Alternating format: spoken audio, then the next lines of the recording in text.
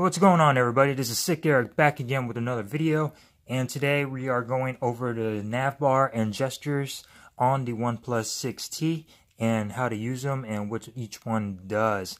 So um, the OnePlus 6T has several different options as far as your navigation bar and different gestures and that is the cool thing I like about this phone is it gives you options. Uh, it implements the traditional style, the pill style, and the gesture style from OnePlus. So with that being said, let's go ahead and jump into the settings. And then you're going to want to go to, you're going to want to go to buttons and gestures. And then you're going to go into nav bar and gestures. And it gives you three different options. You could choose from traditional, the pixel style, and OnePlus's uh, navigation gestures. So if you go into traditional, it brings up your buttons right here at the bottom and then you could also customize it.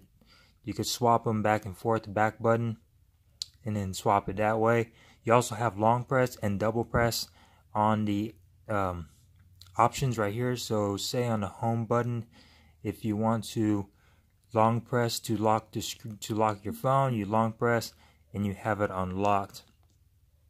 And then you could also uh, do double tap action for uh, the same options open shelf open and close uh, notification center open close split screen and your menu and all of that. So it's really really nice. You can set these for each one of these the recent back and the home.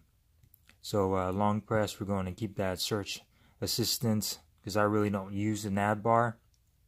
And then uh, you could also hide the nav bar up here. You click that it gives you this little dot down in the corner so you click it and you are now able to hide the nav bar. The second option you have is the back and home. Now this is the uh, pixel style um, type of nav bar to where you swipe up and then it gives you all your different recent menus. And you could also use the pill to slide on over through them all right there. So that's really, really cool. I like this uh, a lot better. You click home, swipe up, go back, and then you could also just slide through them as well just by sliding the uh, pill from anywhere you are. And you could also switch the button the back button to the right side or the left side if you please. And you also have the long press and double action tap actions on the home button and the back button. And you don't have them on the recent button since it is grayed out and it doesn't have a recent button. So the next one we have is the nav navigation gestures. Now this one, there is nothing on here. It gives you a little introduction on it. Recent apps, you swipe, hold up, and it brings you to your recent apps. Click on that. And then to go back, you swipe either from the right, click on that, or you swipe from the left, and you can go back and forth between all your stuff, and then you swipe up to go home. So this one is really nice. I'm kind of switching between the Pixel and this one a lot because um, this one is just really easy and it gives you more screen um, real estate on your device. But I do like the uh, nav bar gestures at the back and the home from the Pixel style. It just looks a lot cooler to me and it looks more pixelish uh, to me as well. So I really like that one a lot. And um, as far as that goes, you also have quick gestures, which uh, allows you to double tap to wake the screen, uh, draw two to control music, and then if you want to draw either O, V, S, M, or W on your screen, you could launch certain apps. So, like, say I if I draw an O on the screen, it launches the camera, which is really really nice features. If you draw a V, it'll launch the flashlight.